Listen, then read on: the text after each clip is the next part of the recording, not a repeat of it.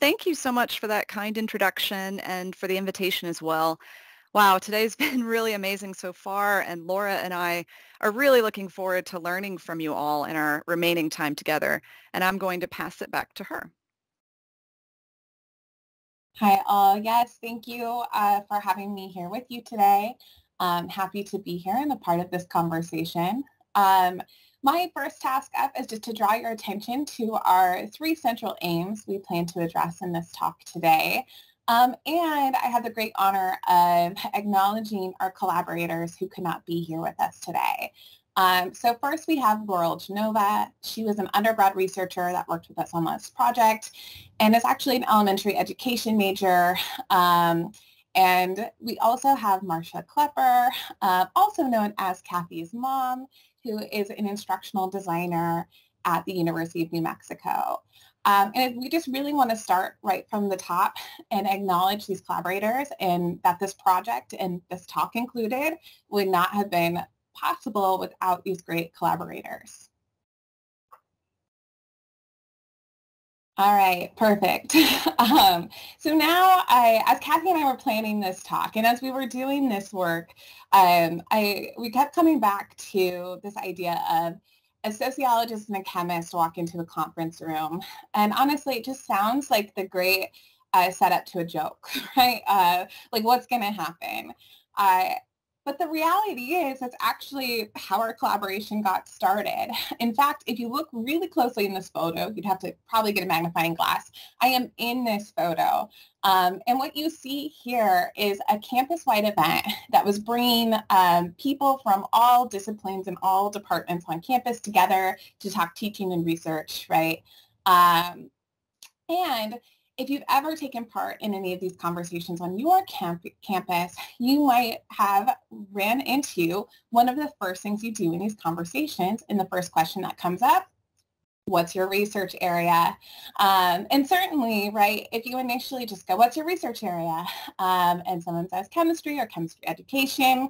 Um, in sociology, you may go, okay, cool, right? Nice, nice meeting you, handshake, and we're out. But as Kathy and I learned in our own collaboration, uh, a second question we might ask is, how do you answer your research questions? And this question is really what guides our collaboration and what laid the foundation for us to kind of figure out, oh, right, we actually have a lot of really great skills that pair well together. Um, so a sociologist and a chemist walk into a conference room and walk out with a collaboration. uh, Great. And so for those of you who don't know much about sociology, and for those of you who do, um, this is just a very brief glimpse into some of the work that sociologists do. So it's a word cloud, right? I love a good word cloud. I hope you do too. Um, but it gives a brief overview of some of the highlights, right? Some of the disciplines, the sub-disciplines, excuse me, that we do work in, some of the methods that we use. Um, and if you want to take a quick moment to just look over the words highlighted here, or if you know a lot about sociology, some of the other stuff you know that maybe isn't highlighted, and do any of these words resonate with your own research and or teaching?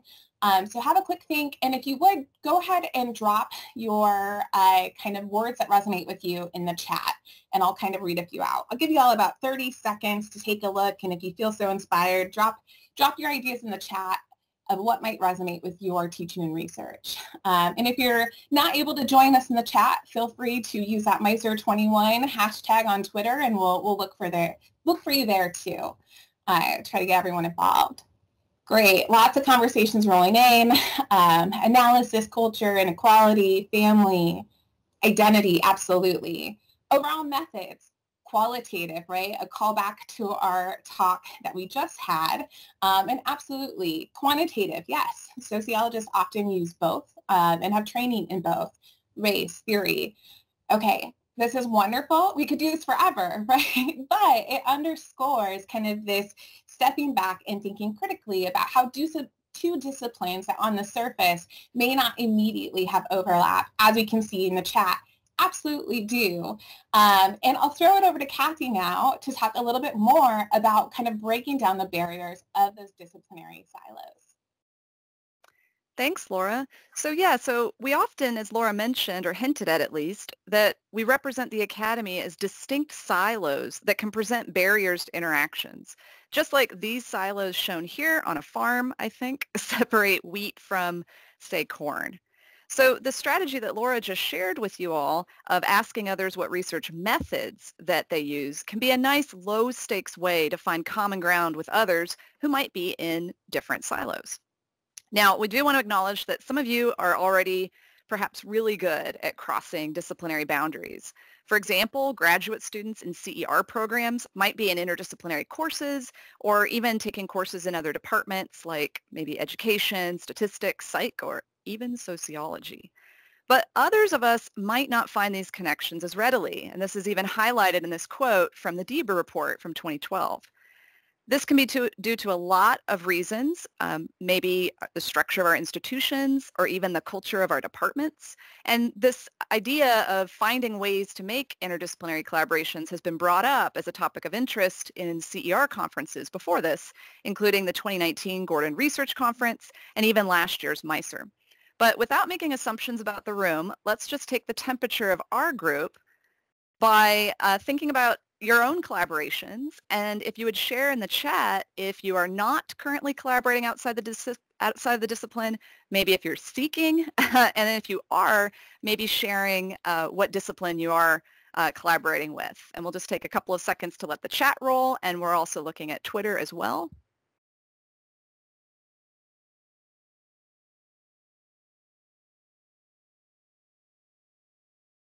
Okay, so we're seeing some stuff rolling in. So some are saying not yet, but would like to. Okay, good. So biology ed research, education and physics. We're seeing some biophysics, computer, nice. More BER, math, awesome. Ed Psych, it's rolling through now. We all can kind of read together, but I'm saying these out loud in case you're watching this video later. Uh, good, pedagogy across disciplines. Oh, I love it. Okay, so keep those rolling in. But what's great is that we can see that we have a range of experiences in this room. Always happy to collaborate. Love that.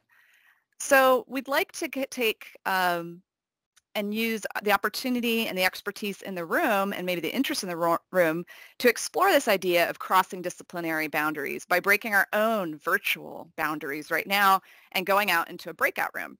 So this is going to be a short one, about five to six minutes just to start our discussion about bridging disciplinary silos. And then when we come back, we'll utilize the chat and also Twitter to share your thoughts for a few minutes. We're going to be doing a big kind of summary at the end as in their uh, discussion points or maybe some key ideas coming back. We're not going to, we're going to take just a couple minutes to share things in the chat and we are going to do a big debrief at the end.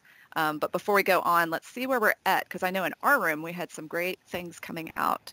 So um, the X-DBER conference, bringing people together, great. Oh, overcoming imposter syndrome. Ooh, I'm not going to get too personal right now, except yes, that w- there was some aspect of that even coming here today for myself. So um, yeah, it takes uh, a while to pluck up the courage to ask if we could work together. Great point. Was that from Jackie? I think so. Um, Great, scrolling through. Yeah, difference in required standards. Oh, computer computing colleagues always want higher sample numbers. Mm, yeah, we're seeing some likes, and feel free to, to use those those likes to up comments for sure. Understanding of the same word, absolutely. And if there are actually university conferences to go to, yeah. So some of you have uh, cross uh, cross university pedagogy groups. That's fantastic. Uh, reading outside of CER journals, great idea. Um, but it's tricky because you know a lot of times we just say, "Oh, go do these things," um, but it's uh, it takes uh, more than just going and doing the thing. There's a lot of things in the way sometimes. Yes, social media. Yeah, if you are not on Twitter, uh, highly recommend. It's been really integral for both Laura and myself in uh, getting to know folks and just learning what other people are doing. And you can see our, our handles here. So feel free to say hi to us on Twitter. Crashing Department Seminar, uh, Education Department Seminars. That is awesome. Great idea. Okay, so keep throwing things in the chat and we're going to have a, um, Reader's Digest of others. Yeah, great idea, Michael. um, we're going to have some reporting out uh, opportunities to share everything back with everyone so we don't have to just capture the chat. But I am going to move us forward right now. Oops, I need to take control. I am learning Teams too. Oh man. Yeah, Stacy, the annual evals. Ugh, we need to come back to that at the end for sure. Um, but first, uh, let's uh, look back at our session outcomes. We're actually going to move forward for just a few minutes on outcome one and two, which are focused on student experiences. And in particular, we're going to be turning to our uh, paper that was part of the pre-reading. So the work, and it's cited again here, uh, really came out of discussions that Laura and I were having about our March 2020 pivoted classes, as well as observations that I was making during April 2020 uh, registration for my May-June online class.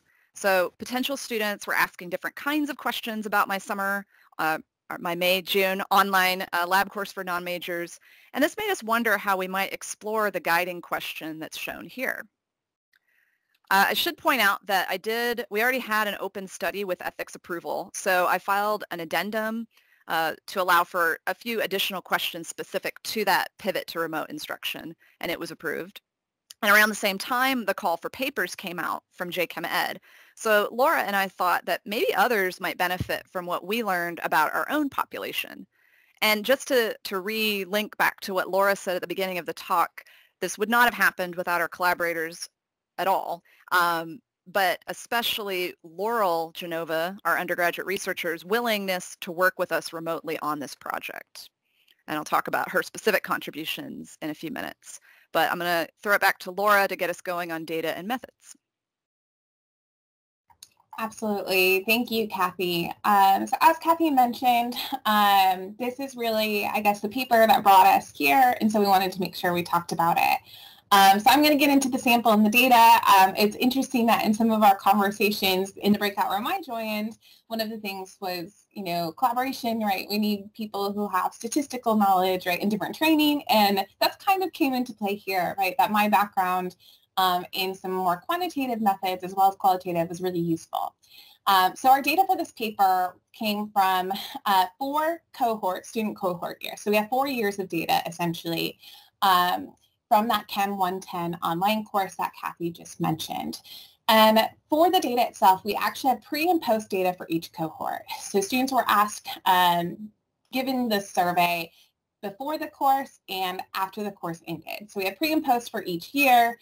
Um, and that data included some Likert scale questions and some open-ended questions as well. Um, so you know, we ended up with about 180 students across all years. So our total sample um, is about 180 students um, and an average of about 50 students per cohort year. Um, so to really get at our questions that we'll get into just um, in just a moment, we ended up with a really nice mix of quantitative and qualitative data.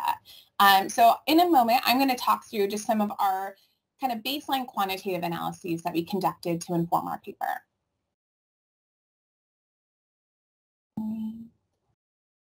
Thank you, Kathy. All right. Um, so our questions were, our quantitative questions were really driven by the seven questions that you see here on students' perceptions of their learning, and again, using the pre and post data. So our first kind of analysis here was to use some paired sample t-tests to look at that pre and post data and see, you know, are we seeing significant differences or a change, right, in the, the sample sizes that we had, and just kind of establishing a baseline here. Um, and what we found across each of these questions is that things were pretty consistent. Um, so that there were significant differences between that pre and post data within each student cohort that kind of tell us, right, the good news, right, students are getting more comfortable with experimental data, more comfortable with analyzing data, et cetera. Um, and so that was establishing a baseline. And we see this kind of um, stability over time in these responses. The only slight difference we saw was that with our 2020 cohort, that post-disruption cohort, so they were our cohort that came, right, kind of post-disruption or that kind of March 2020 here um, when they pivoted, they did not have significant differences in the pre and post data for question six on knowledge of science help makes, helps make better citizens. So this could be a data blip, right? We're not reading too much into it, but we are intrigued if there's something here, just given some, you know, conversations around science taking place in society. So, you know, keep an eye on us for a potential, right, future paper as we watch that data and, and collect more. Um, the second level of analysis that we did here was to look at and compare the cohort years, right? So we wanted to check and see are 2019 students looking drastically different than our 2020 students. And that was one of our initial things, like will our 2020 students statistically look different um, with, again, kind of the data that we have and can check. And what we found is that our 2020 students, those post-disruption students, did not look significantly, significantly different than their peers, right, across the earlier cohorts. So this suggests that that pivot didn't drastically change their perceptions of their student learning as measured by the questions here, kind of their outcome questions. Um, and really what that told us was, you know, there's nuance to be had here, but we need to take a closer look using that qualitative data and dive more into how the students are actually experiencing and learning through the course. And for that conversation, I will throw it over to Kathy. Thanks. So yeah, so for the qualitative part of our study, we were exploring responses to the two questions that are shown here on the slide. Uh, at last year's MICER, Alison Flynn talked about entry points for undergrads. So I want to highlight that Laurel, the undergraduate researcher, came in at this point. The study had been designed. She was, of course, written into the addendum so she could work with the de-identified data, but she wasn't part of the, the serve of the design of things. Um, so she came in and got coding practice with me, and then she and I individually did our initial coding and codebook development, and then through our negotiated agreement, we ended up taking a consensus approach of both doing separate coding and then doing frequent check-ins and going through everything um, code by code. Uh, and when we were looking at the themes that were emerging, we wanted to then, at the end, after we did that, look back at the years to see if there were any changes in themes or theme prevalence over those four years. I've also included some additional strategies for working with undergraduate researchers um, that we can talk about more, perhaps in the time after this talk. uh, and then in the interest of getting to another breakout session, I just wanted to throw up um, our table of contents image to summarize our key findings from the qualitative piece everything shown here were valued by students as being important to their success in the online course for all of the four years. Uh, the ones on the right were relatively stable for all four years, and then these two had some differences for the 2020 students. The 2020 students valued communication far more than the earlier cohorts, and then valued feedback just slightly less. So, um, and this might just be for our population, but maybe it has applicability to others as well. Spending more time on feedback, more time on grading is actually less important to our students for their perceived success in the course than being careful, clear communicators. And also the mode and the frequency of communication didn't emerge as a particular recommendation, just the consistency. So basically do what you want, but just be consistent about it. And then finally, I just want to put up a quote from the paper from a, a, student, a student response. For some reason, students feel like online courses will be easier, but that is where the problem starts. Uh, Laura and I have been in person all year at Mercer, but we know that many or most of you haven't and have been online, so maybe this resonates with your own experiences, but, but really we've included it because it underscores the importance of a solid communication plan with other students. Okay, and so Laura is going to take us into our next breakout session. Right. Are we good on time for that, Catherine? I just want to check in and make sure. Catherine, our captain. Yeah. yes. Yeah, we, have got we've got time to do that. I'm just uh, right. I'm going to start the breakout rooms and send whisk you all off. All right. Um, so as she's getting those open, um, our prompts are there. We will also get them into the chat and we'll try to figure out and do it as quick as we can. Um, but we, this is really about successes with undergraduate researchers, um, discussing your own observations, student experiences. I actually see this taking place in the chat already. Um, and where CER fits in. So I see the rooms are opening. Hi, Kathy. Sorry. Um, We'd love to have you share. Um, I don't think we have time for a, a, full share out, but we'll just go. We'll keep using that chat or Twitter uh, with that hashtag easily on our slides on every single one of them for you.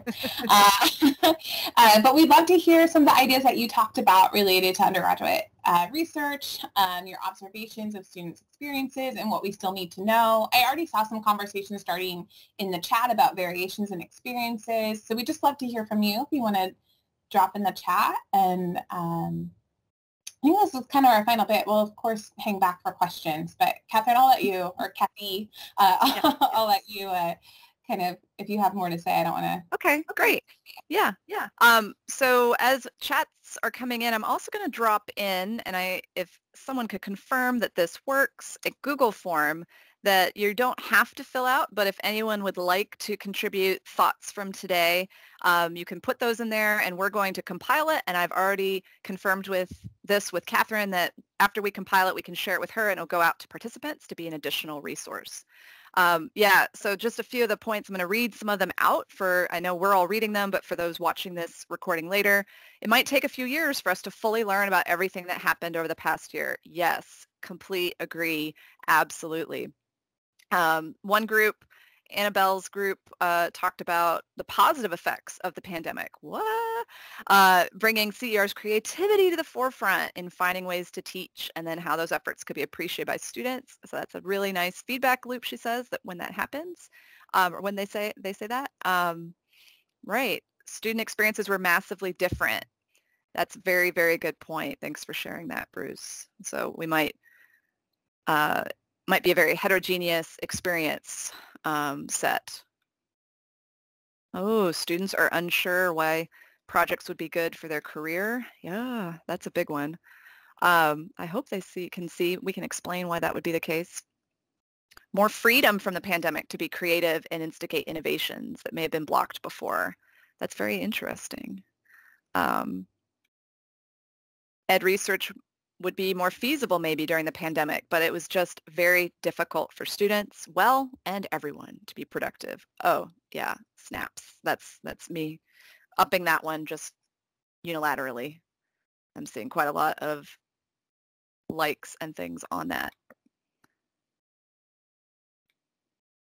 Okay, I think this is coming from Stacy, and I, I want to read it out loud if that's okay. Or um, Stacy, are you are you able to demic and read your own comment out loud so we can get your voice instead? Uh, am I the only Stacy? This is Stacy. Oh, that's a good point. Sorry, I was just looking at the most recent comment. Yeah, uh, I I put in the chat that I'm going to be brutally honest and make space for this to be okay, or let others in the community know they're not alone. The question is framed around successes, and I simply did not have the bandwidth to provide the meaningful experience for undergrads that I typically do in my group. So I did not. I simply said, I cannot do this. I said no and was honest about my own personal professional limitations. And that's not great. It also means my graduate students didn't get the chance to help co-mentor those undergrads, but it is one of the casualties of the last 14 months. So. No, absolutely. And thank you for sharing that. I think um, that's a really important thing to share, but also an important acknowledgement that we do have to make choices. Uh, and I think that you know, that's something that certainly our prompts didn't really capture. Laura, do you want to add anything given your, your time spent looking at well-being and joy? I did. I unmuted because I was looking at the chat and just a conversation taking place about well-being. Um, so I, I see, I think Madeline, you, you noted that you're not able to get ethics approval. Um, I find that, I mean, well, uh, how frustrating. We'll leave it there. Um, but uh, at my institution, I did collect data from students. Um, I did a, a, small study called Navigating College During a Pandemic that was explicitly asking about mental well-being and their transitions. Um, and then I led focus groups as a STEM off the survey. And I just, yeah, I think I think there was another comment that mentioned student resiliency, but also student struggles. And what I found and what many of you seem to be indicating is it's both, right? Um, but I think we also have to honor our own well-being. There's a reason I taught a class on joy this spring that was mentioned at the top. Um, that was like my own personal, um, I'm, we're, I'm fortunate to, you know, have this writing teaching that I'm doing that I can kind of channel different themes. And I was like, I just need something good, um, something that's going to make me feel good uh, and make students feel good. And we ended up with a really beautiful class that um, students shared, you know, just helped them. So I encourage you all on your campuses, even conversations openly about well-being um, can be really transformative. Just helping students recognize that they're not alone in this space, I think has been the major theme that I've seen from both my research and my teaching with students. Um, that I think it's wonderful to share our own limitations and that I, I, uh, you know, just kind of recognize and recognize our limits and model that to students. So through that well-being struggle, you know, they, they feel supported in that way as well. Yeah, great. Thanks for adding that perspective, Laura. And I've dropped in the chat because she wouldn't, I know, um, because she's quite modest, uh, an article that our university put out on her Joy class, in case you're wondering about more details, as well as the report out form again. Again, totally optional. And if you want to put your name to things, you, to- you can. Um, but I think I see Catherine's video on again, and I think that's our cue that we're wrapping up. um, does anybody have any questions for Kathy and Laura?